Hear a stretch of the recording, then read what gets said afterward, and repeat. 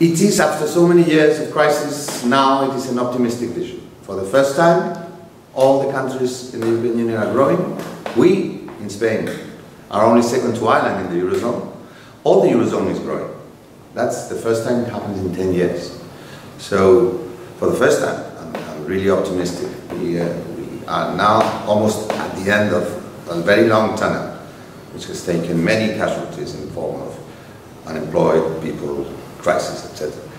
So there are many challenges ahead, many. We are not out of the woods uh, yet, but, but we can start building again instead of start off of spending all our energies and our time uh, preventing collapse. For the first time in many years, we can start building. I think they are the priorities of everyone in Europe. It's, the, it's our citizens. After sending, I wouldn't say negative messages, but difficult messages to our citizens from our national government and to the European Union in terms of austerity, of discipline, reducing debt, reducing deficit. Now we have to send, to send positive messages. We have started now in Göteborg with our youth. We, have, we, we are sending for the first time positive messages for our youth in, terms of Erasmus, changes in universities, changes in secondary schools, these kind of things. And we have to send messages that we are determined to fix the defects of our economic and monetary union that caused this crisis to be so serious in the Eurozone, but especially in countries like Ireland and Spain.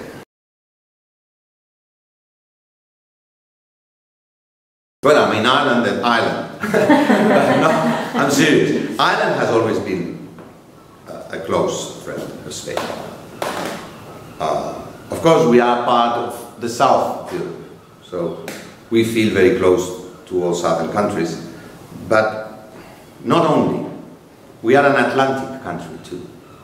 Spain, Spanish conquistadors discovered America, you know, so we, we are, we are uh, very keen on our relations with the other side of the Atlantic, and we are the Atlantic countries in, in Europe. And of course, well, we are one of the big five. When, and they, when the U UK leaves, we be one of the big four. So we have a close relationship, of course, with Germany, Italy, and France.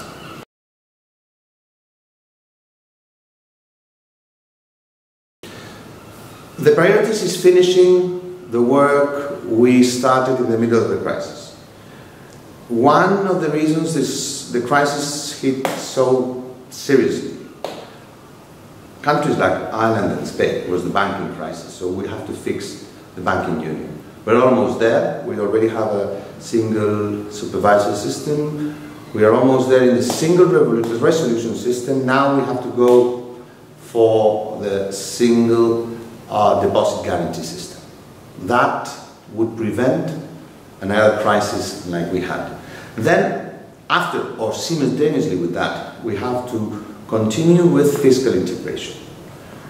Um, there are some instruments that we need for aligning our fiscal objectives. That doesn't mean that Brussels has to tell you where to cut, what to do, where to spend. But we have to have common objectives uh, for some macroeconomic uh, objective because uh, that would prevent asymmetric crisis to hit uh, the Eurozone. And then there are things we, we, we need if we want a stable monetary union. We will never have a perfect monetary union. There's only one perfect monetary union, I would say, in the world, which is Singapore.